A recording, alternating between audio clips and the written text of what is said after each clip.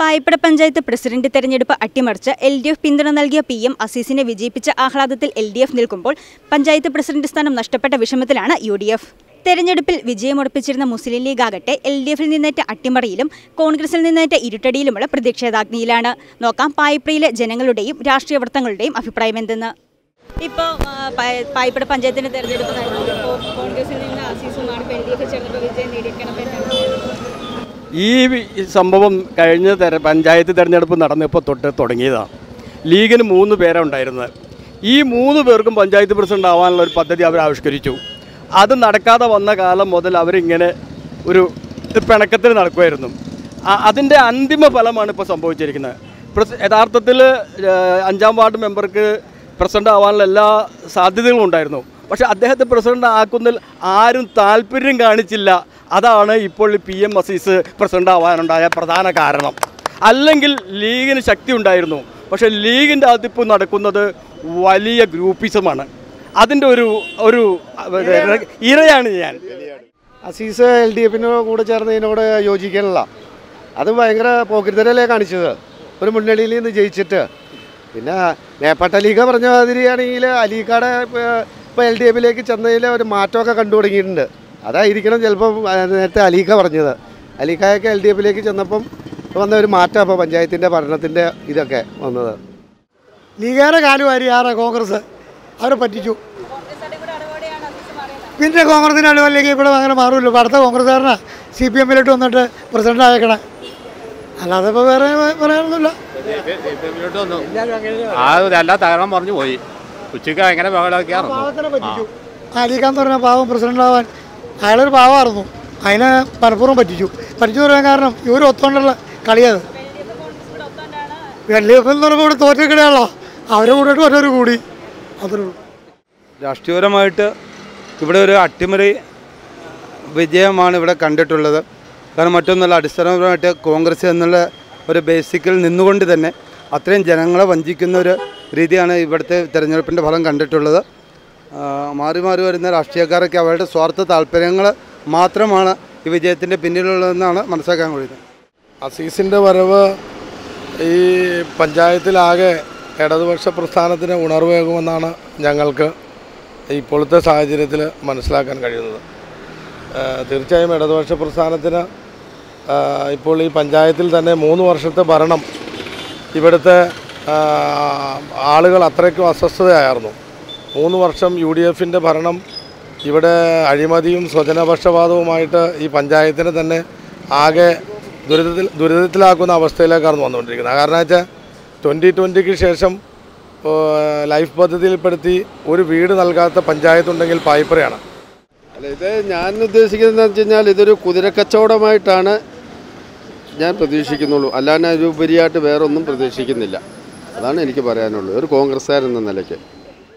പ്രത്യേകിച്ചൊന്നുമില്ല. അതിൽ നല്ല ഇനിയുള്ള ഭരണം തുടർ ഭരണം മാക്സിമം നന്നായി ചെയ്യുന്നുള്ള ഒരു വിശ്വാസമുണ്ട്. അത് ഗ്യാരണ്ടിയാണ് ഉറപ്പായിട്ടും നൂറ് ശതമാനം. തീർച്ചയായിട്ടും മെച്ചപ്പെടും. സംശയം സംശയമില്ല. ഇപ്പോൾ തിരഞ്ഞെടുപ്പാണ് ഞാനിപ്പോൾ അറിഞ്ഞത്. ഇപ്പോൾ ഫേസ്ബുക്കിലൊക്കെ കണ്ട. നല്ല അഭിപ്രായം. മെച്ചപ്പാടുണ്ടാവും മെച്ചമുണ്ടാവും ആ. അങ്ങനെയല്ല നമ്മൾ അങ്ങനെയൊന്നുമില്ല. നമുക്ക് പ്രത്യേകിച്ച് ഒരു പാർട്ടി ഇല്ല. ആ പാർട്ടി ആയിട്ടില്ല. പ്രവർത്തിക്കുന്നതാണ്. യു ഡി എഫിൽ നിന്ന് കൂടുമാറി എൽ ഡി എഫിനൊപ്പം ചേർന്ന പി എം അസീസിനെ പായ്പടിയിലെ ജനങ്ങൾ സ്വീകരിക്കുമോ? മുസ്ലിം ലീഗിന്റെ ആരോപണം പോലെ കോൺഗ്രസിന്റെ കൂടി അറിവോടെയായിരിക്കുമോ തെരഞ്ഞെടുപ്പിൽ അട്ടിമറി നടന്നത്? എൽ ഡി എഫിന്റെ ഒളിയമ്പ വിജയത്തിലേക്കോ? ചോദ്യങ്ങൾക്കുള്ള ഉത്തരം പായിപ്പടയിൽ നിന്ന് തന്നെ. അത് പുതിയ പുതിയ ഭരണകക്ഷി നന്നായിട്ട് പഞ്ചായത്ത് ഭരിക്കുമെന്നാണ് ഞങ്ങളുടെ ഒരു അഭിപ്രായം. മാത്യു വർഷിക്ക് മോശമല്ലായിരുന്നു പക്ഷേ അവരുടെ അവരുടെ ഇടയിലുള്ള ചെറിയ ഈഗോ പ്രശ്നമാണ്. ആ പ്രശ്നമാണ് ഇപ്പോൾ എൽ ഡി എഫിന് ഭരണം കിട്ടിയത്. പായിപ്ര പഞ്ചായത്തിന്റെ ചരിത്രത്തിൽ ഒരു തിരുത്തിക്കുറിക്കലാണ് ഇന്ന് സംഭവിച്ചിരിക്കുന്ന സംഭവം. മുസ്ലിം ലീഗിന് ഭരണം കിട്ടിയിട്ട് തുച്ഛം ദിവസം കൊണ്ട് അവസാനിപ്പിച്ച ഒരു സംഭവം നടന്നിരിക്കുകയാണ്.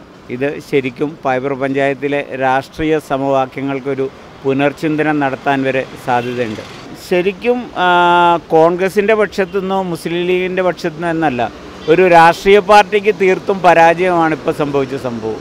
അത് ഒരു തുടർഭരണം നല്ല രീതിയിൽ നടത്താൻ പ്രതീക്ഷിച്ചായിരിക്കും അവർ തുടങ്ങിയത്. അതിൽ തന്നെ പാളിപ്പോയില്ലേ? ഇനിയൊരു എൽ ഡി എഫിന്റെ നല്ലൊരു ഭരണം കിട്ടുമെന്ന് പ്രതീക്ഷിച്ച് ഞങ്ങൾ ജനങ്ങൾ വിശ്വാസം അർപ്പിച്ചിരിക്കുക ചേട്ടാ നമ്മളിപ്പോൾ പായിപ്പട പഞ്ചായത്തിലെ പ്രസിഡന്റ് തെരഞ്ഞെടുപ്പ് കഴിഞ്ഞു അപ്പോൾ P M Azeez L D എഫിന്റെ സ്ഥാനാർത്ഥിയായിട്ട് വിജയിച്ചിരിക്കുകയാണ്. നമുക്ക് പ്രത്യേകിച്ചൊന്നും പറയാനില്ല. പൊളിറ്റിക്സ് അല്ലേ? മാറിയും പറഞ്ഞൊക്കെ ഇരിക്കും. അപ്പോൾ അതും ഇങ്ങനെ പ്രത്യേക ഇതിപ്പോൾ ആദ്യമായിട്ടൊന്നും അല്ലല്ലോ. ഇപ്പം ഇന്ത്യ മൊത്തം ഇങ്ങനെയല്ല രാഷ്ട്രീയം എന്ന് പറഞ്ഞത്. പൊളിറ്റിക്സ് ഇങ്ങനെ മാറിയും മറിഞ്ഞും മാറിക്കൊണ്ടിരിക്കും. നമ്മൾ സാധാരണക്കാരെ നമ്മൾ പണിയെടുത്ത് ജീവിക്കുന്നു എങ്ങനെയാണ് ഇപ്പോൾ കഴിഞ്ഞ മൂന്ന് വർഷത്തെ അപേക്ഷിച്ച് നിങ്ങളുടെ രണ്ട് വർഷം ഭരണം കൂടുതൽ മെച്ചപ്പെടുന്നു വിശ്വസിക്കുന്നുണ്ടോ ഒരു പ്രതീക്ഷയില്ല. ഞാൻ മെച്ചപ്പെടുമെന്നോ മോശമായിരിക്കുമെന്നോ ഒന്നും പറയാൻ ഞാൻ തയ്യാറില്ല. മൂന്ന് വർഷക്കാലം യ- ഡി എഫിന്റെ നേതൃത്വത്തിലുള്ള ഭരണസമിതി. ഇവിടെ ഈ സമയം വരെയും ഭരണം കൈയാളുകയും ആ ഭരണത്തിൽ ഒട്ടനവധിയായ വീഴ്ചകൾ അതായത് അഴിമതിയുടെ കൂത്തരങ്കായി പായിപ്ര ഗ്രാമപഞ്ചായത്ത് മാറുകയും അതിന്റെ അകത്ത് സൈകെട്ട് നിരന്തരമായി കമ്മിറ്റികളിൽ പി എം അസീസ് അടക്കമുള്ള യു ഡി എഫിന്റെ ജനപ്രതിനിധികൾ അതിനെതിരെ ശക്തമായ പ്രതിഷേധം തന്നെ നടത്തിയിട്ടുണ്ട്. അത് നിങ്ങൾക്ക് ഇതിനു മുമ്പുള്ള പ്രവർത്തനങ്ങൾ എടുത്ത് പരിശോധിക്കുമ്പോൾ നിങ്ങൾക്ക് കാണാൻ സാധിക്കും. അത് പറയുമ്പോൾ അദ്ദേഹം നിരന്തരമായി യു ഡി എഫിൽ അവിടെ പഞ്ചായത്ത് ഭരണസമിതിയിൽ നേതൃത്വം കൊടുക്കുന്ന ശ്രീ മാത്യൂസ് വറക്കി തെറ്റായ നയങ്ങൾ എടുക്കുമ്പോൾ ആ പഞ്ചായത്ത് കമ്മിറ്റിയിൽ ഭരണപക്ഷത്തിന്റെ അംഗമാണെങ്കിൽ പോലും ശക്തമായ പ്രതികരണം നടത്താറുണ്ട്. ഞാൻ പറയുകയാണ് ആ പായിപ്ര ഗ്രാമപഞ്ചായത്തിൽ പന്ത്രണ്ട് അംഗങ്ങൾ യു ഡി എഫിന്റെ ഉള്ളപ്പോൾ ഒരു നാലോ അഞ്ചോ അംഗങ്ങൾ ഒഴികെ ബാക്കി എല്ലാവരും മനസ്സുകൊണ്ട് ഈ ഭരണത്തെ വെറുക്കുന്ന ആളുകൾ അതായത് ഈ ഭരണത്തെ കൊണ്ട് സഹികെട്ട ആളുകളാണ്. പക്ഷേ ഈ സംവിധാനത്തിന്റെ അടിസ്ഥാനത്തിൽ നിൽക്കുന്നത് കൊണ്ട് മാത്രവും അതുപോലെ തന്നെ ഒരു ഏകാധിപതിയെ പോലെ ഭരിക്കുന്ന ആ നിലപാട് സ്വീകരിക്കുമ്പോൾ അതിനെ ശക്തമായി പ്രതികരിക്കാൻ കഴിയാത്ത ഒരു രീതി അല്ലെങ്കിൽ ഒരു പ്രത്യേക സാഹചര്യം പായിപ്പുര ഗ്രാമപഞ്ചായത്തിൽ അദ്ദേഹത്തിന്റെ നേതൃത്വത്തിൽ ഏറ്റെടുത്തത് കൊണ്ടാണ് യു ഡി എഫിന്റെ അംഗങ്ങൾ തന്നെ പ്രതികരണവുമായി രംഗത്തേക്ക് വരാത്തത് ഈ എൽ ഡി എഫിന്റെ ഒന്നും കൂടെ ചേർന്നിട്ടില്ല. അയാൾ ഒന്നാം നമ്പർ കോൺഗ്രസ്സുകാരനാണ് എൽ ഡി എഫ് കാരനൊന്നും ഞങ്ങൾ ആരും പറയില്ല. അത് പിന്തുണ അവരുടെ ഉണ്ട് അത് നല്ല കാര്യമാണല്ലോ. അത് ഭരിച്ചുകൊണ്ടിരിക്കുന്നവർ ചെയ്യേണ്ട കാര്യങ്ങൾ ചെയ്യാത്തതുകൊണ്ടാണല്ലോ ഇത് സംഭവിച്ചത്. ഇതാണ് സംഭവം. അത് എന്നൊന്നും പറയാൻ തയ്യാറില്ല. അതൊന്നും നമുക്ക് പറയാൻ അധികാരമില്ല ആർക്കും ഇല്ല എങ്ങനെ മൂന്ന് വർഷക്കാലം എങ്ങനെ മാത്യു സർക്കിയുടെ ഭയങ്കര ഒരു കുഴപ്പമില്ലായിരുന്നു. അവർ ശരിയായിട്ട് സമ്പാദിച്ചിട്ടുണ്ട്. നമുക്ക് തന്നെ പ്രത്യേകിച്ച് പറഞ്ഞാൽ പറയാനല്ലേ നല്ലൊരു ഭരണം കാണുന്നു ഭരണം എല്ലാം ശരിയല്ലേ?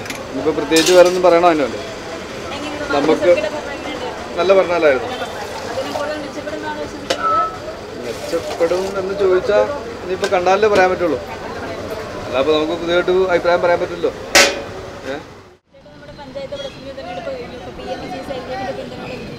ആ വാ അത് കോൺഗ്രസ് കുതുകാൽ വെട്ടിയതുകൊണ്ടാണ് അസീസ് അസീസും കുതുകാൽ വെട്ടി. കൊണ്ട് ജോറിനോട് നന്ദി കാണിച്ചില്ല അവൻ. അങ്ങനെയാണ് അവൻ പ്രസിഡന്റ് ആവാൻ കാരണം. ലീഗിന് കൊടുക്കേണ്ട നഷ്ടമാണ്. അവരെ വഞ്ചിച്ചു കോൺഗ്രസ്സുകാർ ഭരണമൊന്നും കുഴപ്പമില്ലായിരുന്നു. കുഴപ്പമില്ല. നല്ല ഭരണമാണ്. മെച്ചപ്പെടാൻ ചാൻസ് കുറവായിരിക്കാം. നല്ല പ്രശ്നം പക്ഷേ മാത്യു സോറിക്ക് മൂന്ന് ടൈമാണ് നടന്നവർക്ക് രണ്ട് ടൈം ലീഗിനാണെന്ന് കൊടുക്കേണ്ട ഒരു ധാരണ പ്രകാരം യു ഡി എഫ് സംവിധാനത്തിന് കൊടുക്കേണ്ടതായിരുന്നു കൊടുത്തില്ല. അത് വളരെ മോശമായ പരിപാടിയാണ് അഭിപ്രായം മാത്രം നല്ല അഭിപ്രായമല്ല എനിക്ക് പറയാനുള്ളത്. കാരണം വെച്ചാൽ പിന്തുണയോട് വന്ന ഒരു സീറ്റല്ലേ? അപ്പോൾ എല്ലാവർക്കും നല്ലൊരു അഭിപ്രായം ഇല്ല. അതേക്കുറിച്ച്. ഇന്നലെ വരെ കോൺഗ്രസിന്റെ കൂടെ ഉണ്ടായിരുന്ന പി എം എസ് ഇന്ന് എൽ ഡി എഫിന്റെ അതൊരു ഒരു മാറ്റം തന്നെയാണല്ലോ. അതെല്ലാവർക്കും ഒരു അഭിപ്രായ വ്യത്യാസമുണ്ട്. എങ്ങനെയുണ്ട് മാത്യു സുർക്കയുടെ ഭരണം മൂന്ന് വർഷക്കാലം എങ്ങനെയുണ്ട്? സൂപ്പറാണ് മാത്യു സുർക്കയുടെ ഭരണം വളരെയധികം ഗംഭീരമാണ് നല്ല എനർജിയോടുള്ള ഭരണമാണ്. അത്രയും വർഷമുള്ള എക്സ്പീരിയൻസ് മാത്യു സുഖറുണ്ട് ഇനിയുള്ള രണ്ട് വർഷക്കാലം എങ്ങനെയാണ്? അപ്പോൾ നല്ല ഭരണമായിരിക്കും നല്ല ഭരണമായിരുന്നു നമുക്ക് പറയാൻ കഴിയില്ല. കാരണം മാത്യു സുഖറിനെ മാത്യു സുഖറിനെ സംബന്ധിച്ച് നല്ല ഭരണം കാഴ്ചവെക്കുന്ന ഒരു വ്യക്തി തന്നെയാണ് പക്ഷേ ഇതൊരു മാറ്റം എങ്ങനെ നമുക്ക് പറയാൻ വികസന പ്രവർത്തനങ്ങളൊക്കെ ഉണ്ടായിരുന്നു? നന്നായിട്ടുണ്ടായിരുന്നു. നല്ലൊരു വ്യക്തിയാണ് ഇനിയുള്ള അങ്ങോട്ടുള്ള ഇത് നമുക്ക് ഒന്നും പറയാൻ പറ്റാത്ത അവസ്ഥയാണ് ആ ആ. എൽ ഡി എഫ് വിജയിച്ചിരിക്കുകയാണ്. പിന്നെ വേണേ അമതി. തരക്കേടില്ല നല്ല ഭരണമായിരുന്നു. എങ്ങനെ അറിയാം ഇപ്പം? നമുക്കറിയാൻ പറ്റുമോ ഒരു പ്രതീക്ഷ നന്നായിരിക്കും എന്നാണ്. ആ, ആ. മാത്യു ജോർജിയുടെ നല്ല ഭരണമായിരുന്നു. ഇനിയുള്ളതും അങ്ങനെ തന്നെ ഒരു ഇതായിട്ട് ഞാൻ വിചാരിക്കുന്നത് എൽ ഡി എഫ് ആകുമ്പോൾ നല്ല സാധാരണക്കാർക്ക് വേണ്ടി ഒരുപാട് ഗുണങ്ങൾ ചെയ്യുമല്ലോ സ്വാഭാവികമായിട്ടും സാധാരണക്കാരെ പാവപ്പെട്ടവരെ സഹായിക്കുന്ന പാർട്ടി എന്ന് പറയുന്നത് എൽ ഡി എഫ് ആണല്ലോ. അവർ നന്നായിട്ട് ഇത് ചെയ്യും എന്ന് ഉദ്ദേശിക്കുന്നു. പിന്നീട് രണ്ടു വർഷക്കാലം നല്ലൊരു ഭരണമായിരിക്കും എന്നാണ് പ്രതീക്ഷിക്കുന്നത്. എന്നാണ് പ്രതീക്ഷിക്കുന്നത്. രാഷ്ട്രീയത്തിനുള്ളിലെ ഒളിയമ്പുകളും കൂടുമാറ്റവും പുതുമയുള്ള കാര്യമല്ല. ഉറങ്ങുന്നതിന് മുൻപ് ഗുഡ് നൈറ്റ് പറഞ്ഞ രാഷ്ട്രീയക്കാർ ഗുഡ് മോർണിംഗ് പറയാൻ സമയമാകുമ്പോൾ പാർട്ടി മാറും എന്ന പ്രശസ്ത വാചകമാണ് തെളിയുന്നത്. മൂവാറ്റുപുഴ ന്യൂസിന് വേണ്ടി ക്യാമറമാൻ സന്തോഷ് കുമാറിനോടൊപ്പം കൃഷ്ണ ഷാജി.